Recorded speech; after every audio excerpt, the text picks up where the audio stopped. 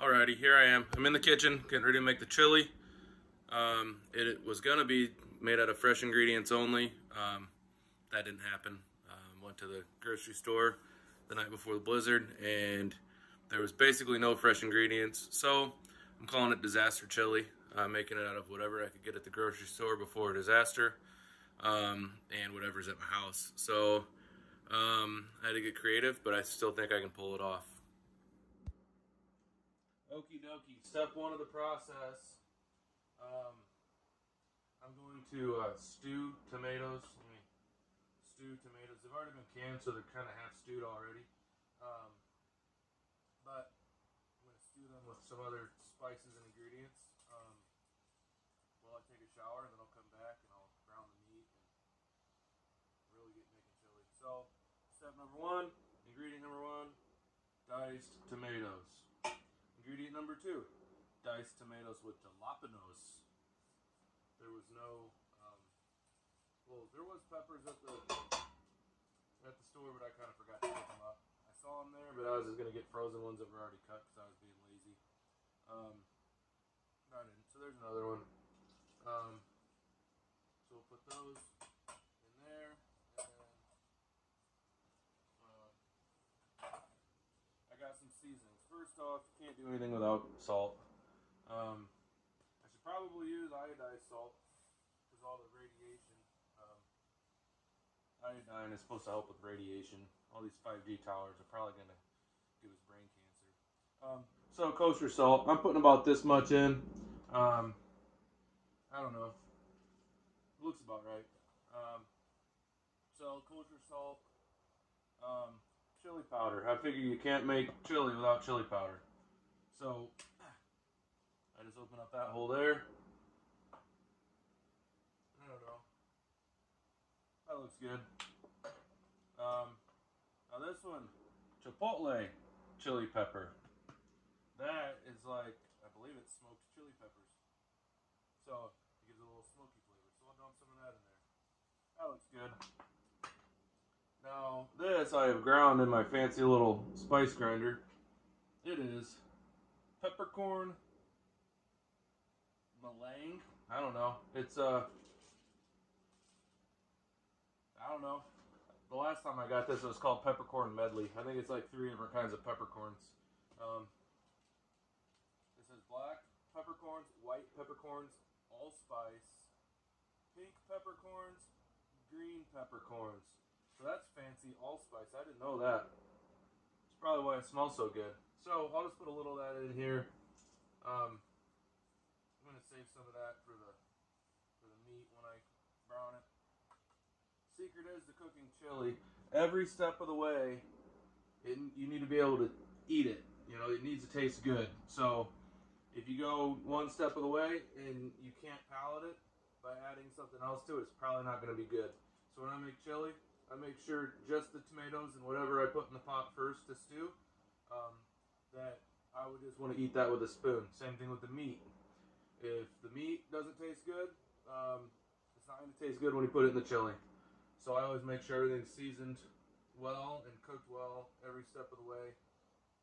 That way, I know it's going to be good. Um, so I'm just going to turn this on like a, I call it a, I don't know, I'm going to turn on low, let it simmer. I'm definitely not going to do it hot because I'm going to jump in the shower I don't want to burn it um, when I'm in the shower. So I don't know if that's the safest thing to do, but I don't know. I haven't burned down the house yet. So these these canned uh, tomatoes are definitely not stewed, so they might be on the stove for quite a while uh, before I add any to them. Because I want them to be nice and stewed and basically not be able to tell that it's, you know, what did it say? Diced. I want it to be basically, I don't know what you would call it. Um, not diced tomatoes anymore. I want it to be stewed tomatoes. So, alright, that's step one. I'm going to jump in the shower and uh, come back and brown some meat. Alrighty, just got out of the shower and I'm going to check this out. Mmm. It already smells like chili and all it is is tomatoes and some seasonings. Mmm. I can smell that chipotle. that allspice that I didn't know I was gonna put in there. So that's got a long ways to stew down. So I'm just gonna leave her in there. Gonna go make some phone calls, maybe send some emails. Um, and once that stews down, that bacon grease that's already coagulated or whatever you call that, not turned into oil, it's more grease now. Um, I'll just fire that back up, throw my meat in there, my seasonings, get that cooked up. I'll throw it in with the tomatoes, probably let that stew for a little bit longer, then add some tomato juice and some other seasonings, and um, then I'll have some chili. Alrighty, I did find an onion in the fridge, so that's a plus.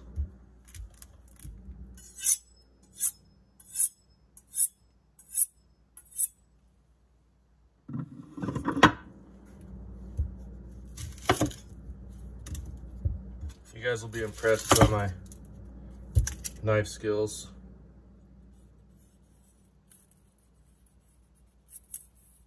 I'm not a really big fan of, uh, I don't know, this outside of the onions. I usually waste about the first two layers. It just seemed to be a little bit flaky.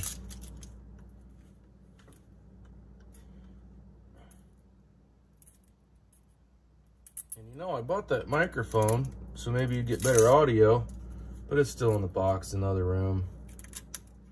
Man, this is just giving me troubles today for some reason. Probably because I just need to go for two layers like I always do. There we go. That's working better. I don't know, when I don't have an audience, it seems to go a lot easier than this. Just like anything, especially backing up a trailer. As soon as I get an audience, I can't even back it up straight. All right. So I think I'm gonna cut this thing kind of coarse. I don't have much, much for filler in that chili, so I'll just cut it kind of coarse. I'm just gonna use the whole thing. Might as well. Let's see here. Whoops. I'm doing it backwards, I think. It'll be all right. Nobody will know the difference. Especially since I'm the only one that's gonna eat it.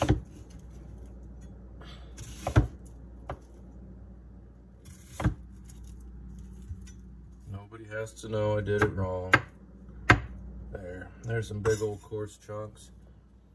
Maybe I'll put half of this in with the, the meat when I brown it, and the other half could go in the chili when I add the meat. That way it's not all browned up.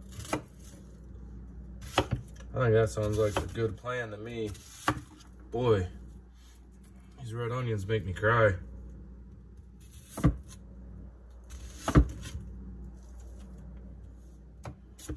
Cha, cha. Ah, ah. Alrighty. So onions cut up. I'll put half of that in the frying pan. I've got it going uh, with the bacon grease. Um, so we'll head back over to the stove. Alrighty, the first part of browning my venison burger is uh, adding some bacon to the bacon grease. Why not? There's like no fat in the venison, so might as well add a little bacon. And it's also nice to get a little surprise every now and then in the chili. So let me get the goo off my hands, and I'll be right back.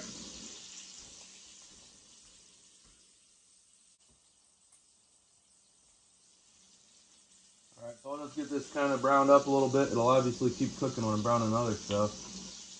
Um, boy, and you can tell, I don't know if you can tell from there, but my stove isn't level, so all the grease goes to this one end. Um, so my goal is to make a YouTube video on how to level your stove. Um, obviously, I wasn't very good at it the first time, but it looks like all I got to do is drop the front legs just a little bit. Everything will be even. Alrighty, let's throw the onions in there, then we'll do the meat. Like I said, we have half the onions now. Um, approximately half in there and then half in the chili pot later.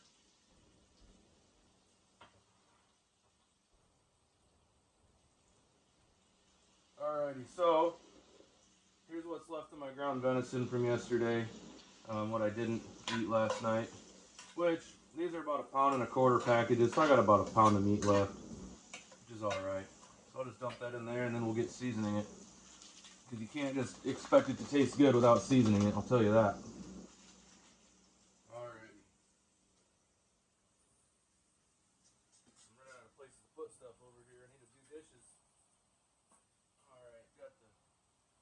Of blood off my hands. Um, so now gonna kinda karate chop it a little bit. Ah. That way I get my seasonings all mixed in there a little better.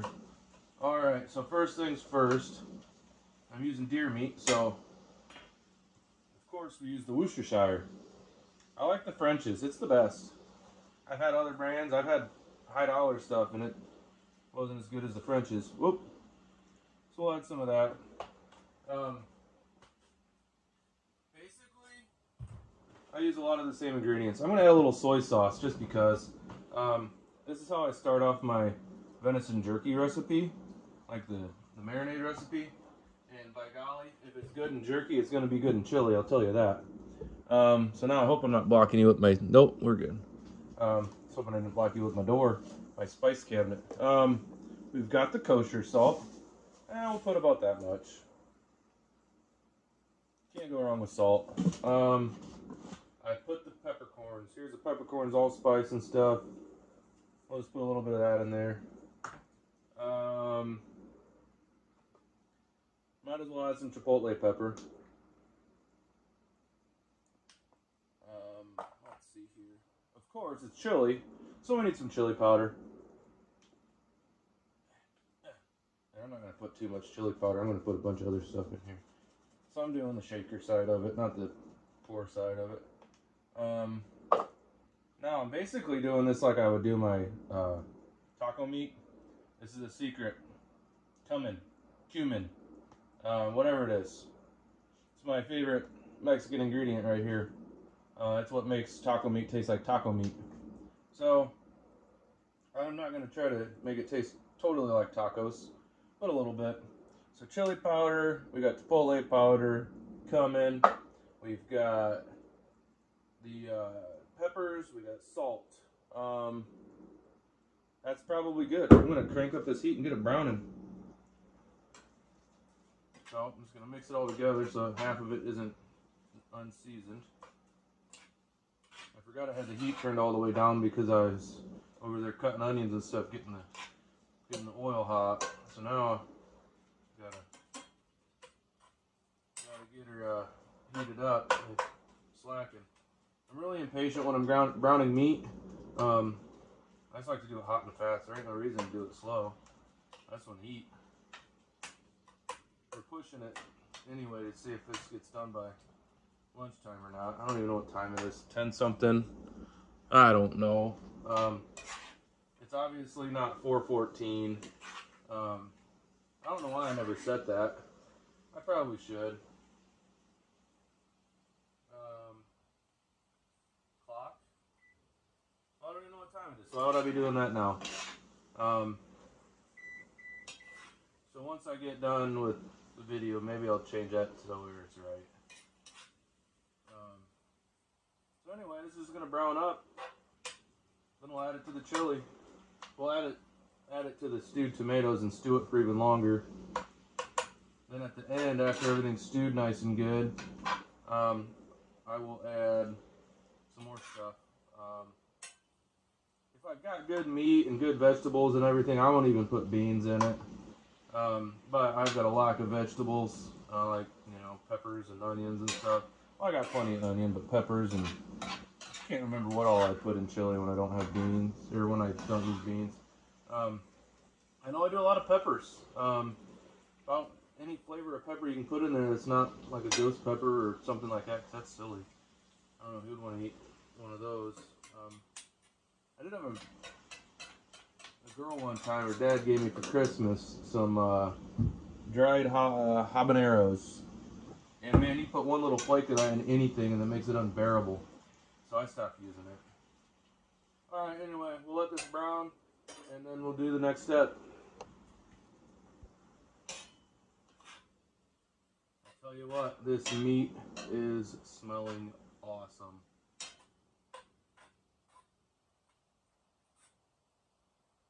Got that bacon grease mixed in there for that extra flavor, extra moisture so it doesn't dry out. Man, this is smelling good. I saw some raw meat in there. I'd try some right now. Definitely gonna try it before I uh, put it in the chili. I should probably try the chili before I put it in the chili. You know, I'll just try this now. It'll be alright. This one looks done. Hot. That's hot.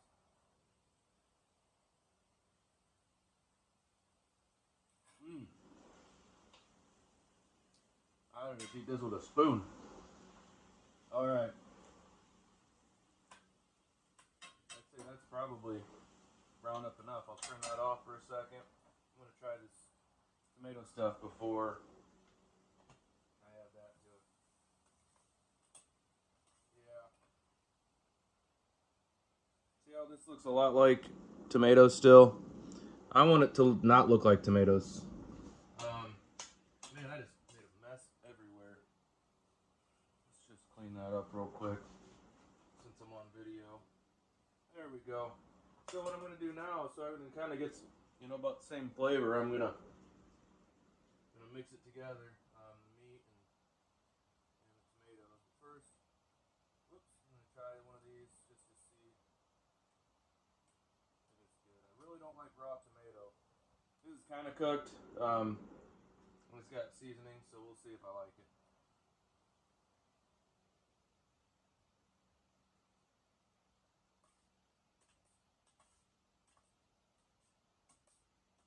Whew. That's nice and spicy. Um, I'm gonna add some sugar to that. You're supposed to add brown sugar, but all I got's the regular sugar, so I'll add some some sugar to that, sweeten it up a little bit, maybe cancel out some of the heat, and then I'll mix everything together. So right here I got the Smart and Simple granulated sugar.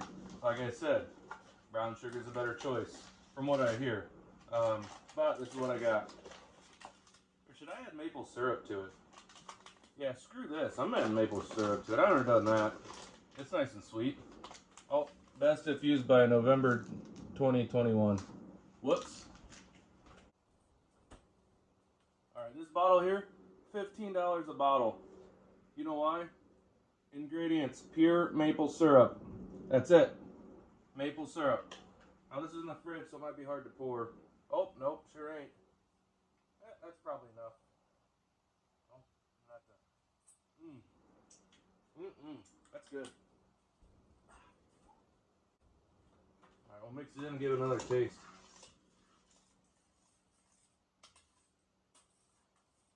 I hope I just didn't give away my secret. I could win chili contest if this is good. I shouldn't tell anybody how I do something until I try it first. Alright, here's a little piece.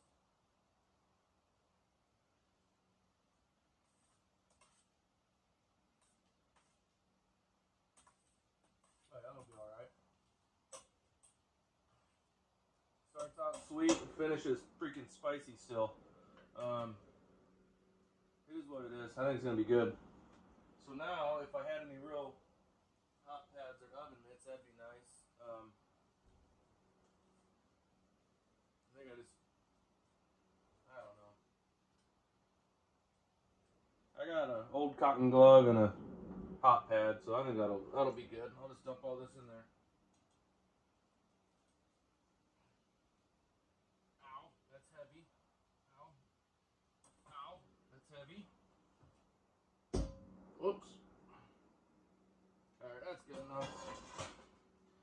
I'm going to mix it all together, and I'm going to let that cook down for a really, really long time.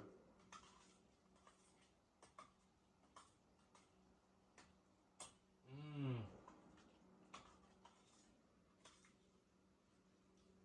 I could almost forget the beans. This is looking good. I'll give you guys a close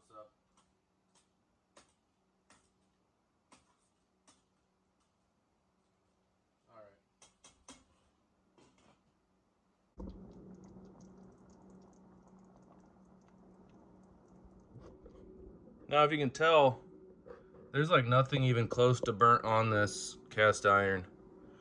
Like it's just nice and slick. So I'll, literally all I'm gonna do is use my sprayer nozzle over there on the on the sink and then I'm gonna put it back on the heat, dry it out, squirt some oil on it, and then uh, let it cool down and it's gonna be seasoned again. All right, so here's what I normally do. That was super easy to clean. I just literally rinsed it out. Um, I fold the paper towel up pretty decent. There's a secret why you want to do it a lot. Then I just speed up the process. I wipe the water out of it. Um, I get it nice and hot. Um, secret behind that too. It's not really secret. It's science, physics, you know, whatever. Um, I don't want to scare you away from cleaning up your cast irons if I use big uh, words like physics and things. Um, so anyway, see how that's kind of dirty still? That's just par for the course. Um, secret is, boom, I fold it like that. Got a clean spot. So then when I spray the oil on, or you can just dump some oil on, wipe it around. Maybe I'll do that. You've already seen me spray it if you if you've been keeping up on my videos. Um, so I don't know if it's hot or not yet. I let it get pretty cool. It was silly of me if I if I knew I was gonna do this, which I should have known I was gonna do this because I always do this. So not a big deal. It doesn't have to be super hot. Ooh, it's pretty hot. That oil's nice and slippery. You always know that, that your pan's hot when the oil's slippery. So I'm just gonna wipe it around. You don't want to leave a lot of oil on there. Ouch! Oh, it's hot. Um, gotta be careful when you're doing this. I've splashed oil on myself, and it hurts real bad. Um, so you don't want to leave oil on it. You just want to wipe it around. Um, the physics behind it. I hope I don't scare you away with the physics. Um, cast iron is porous, um, and when you heat it up, the pores open up, so then you put the oil in there, it soaks in the pores, and then you let it cool down and the pores close, and that's what seasons it. So there it is. Um, I just wiped it off. I, I turned off the heat. I, I didn't I didn't tell you that. Kind of keeping it a secret, but I'll tell you now. Turned off the heat after I um, said the oil was hot. So now it's got oil on it, and just let it cool down, and that's seasoned.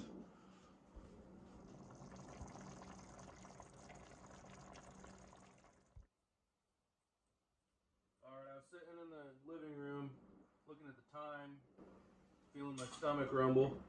Um, decided I need to uh, speed up this process a little bit.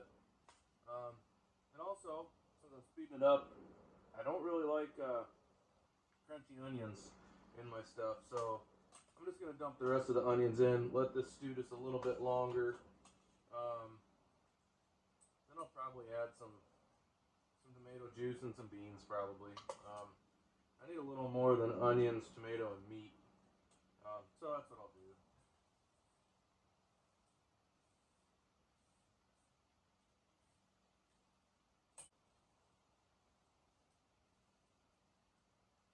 Yep, so I'll just let that cook this a little bit so those onions aren't totally crunchy.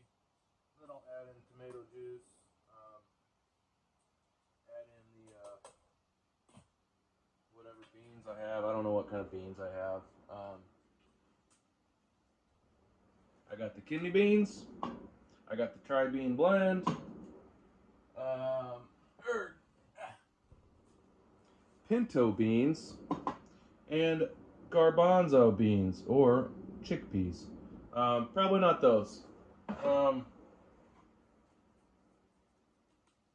one deciding factor is do I have to use a can opener? So, no, I don't have to use a can opener on any of them. So, um, probably start with the tri bean blend. That seems fancy. Um, and then if I want more beans, probably add the kidney beans. I don't know. Um, I don't know if I want more beans. Uh, we'll see what happens. I change my mind a lot. Um, so, don't know. We'll see what happens when the time comes. I definitely know what tomato juice I'm putting in it. It's this one, that's the only one I have. So, I don't know. I'll wait just a little bit longer and then start putting more stuff in it.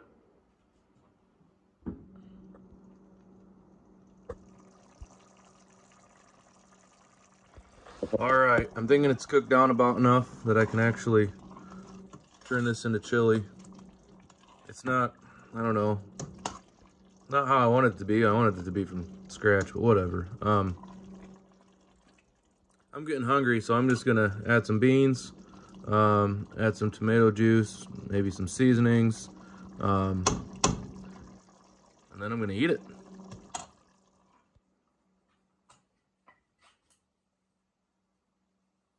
All right, I'm straining the juice out of the beans. I, just, I don't know about bean juice. Um, that's off camera.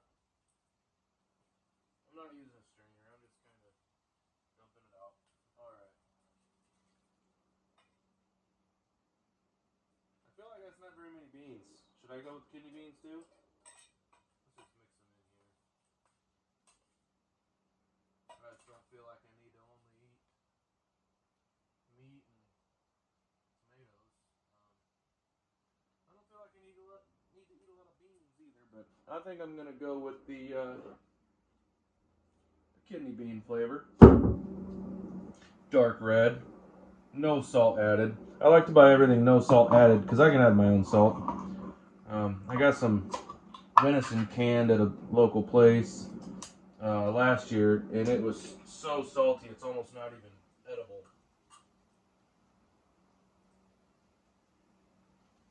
So I like to add salt myself, just because people add too much. Um, I don't know, and I like to be in control of things. So if I say no salt added, then I can put my own salt in. And I tell you what, this is looking pretty good without any tomato juice, but I don't know, I can add a little bit. It's nice and thick right now. Um, let me zoom you in here. All right, here it is with no tomato juice. Um, it's nice and thick. I like that. Um, I don't know. I just feel like I should have tomato juice, but you know what I could do? Why don't I just eat some of this? Um, let them beans warm up just a little bit and see if I need to add any tomato juice. Alrighty. Whoa! I almost knocked you over. Um, gonna get a scoop of this, and then I'm gonna use my little spoon here. We got some beans, got some meat, got a got a tomato. Um, let's see if I can get a piece of onion. Oh, almost, almost. Now I got a piece of onion on there. We'll let it cool down just a little bit. It's awful bubbly. That means it's probably awful hot. Um, got my butter here warming up a little bit. I like that bread and butter with my chili.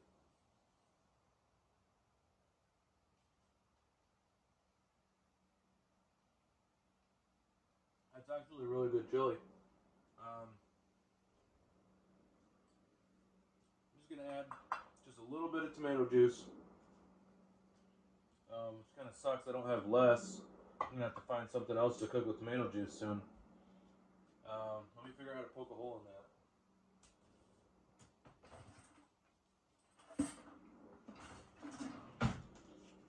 Old can opener. Open that one, and boink, little vent.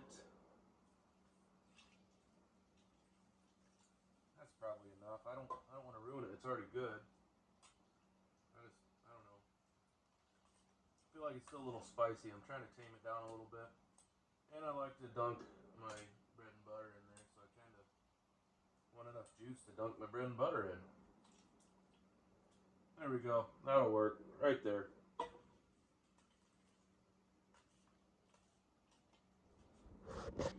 All right, here it is with the tomato juice. Um, doesn't really look much different. I added maybe, I don't know, uh, not a, not even a quart to it. Um, I don't know. That just looks like some good chili to me.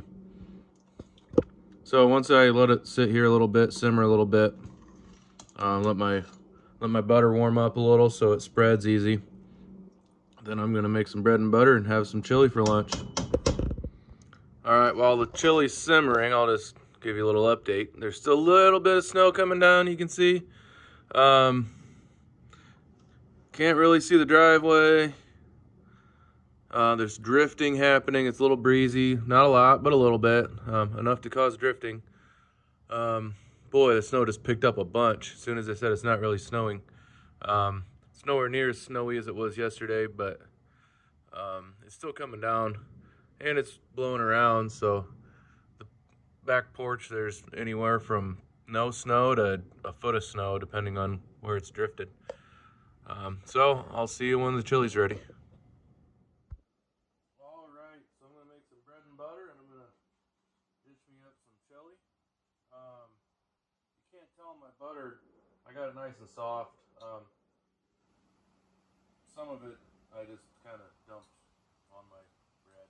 Um, trying to get to the soft side. One one side was soft, one side was hard. I just had it sitting close to the, the pot there, and the side that was closest got hottest, believe it or not. And you really can't go with too much butter. Like it's called bread and butter for a reason. Because there's supposed to be butter on it. So, there's my butter. There's my bread. my fancy china. I got more fancy china here. Um, this is actually two bowls.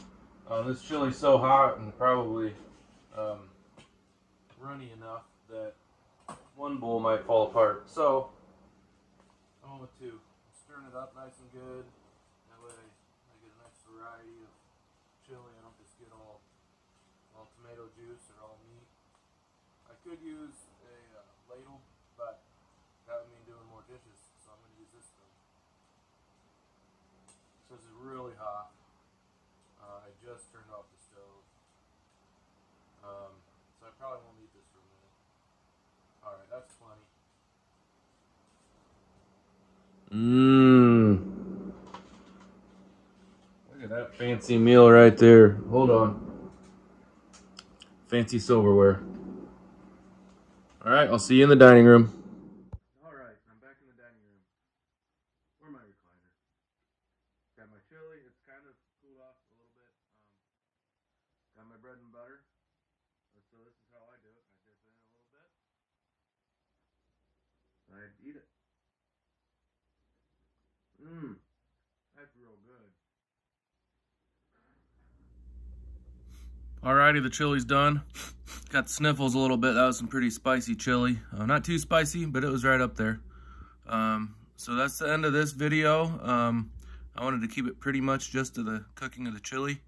Um, we got some, boy, it's like a whiteout out there now. I was hoping I'd go out there and plow sometime soon, but um, like I said, I don't want to plow it and then have to plow it again.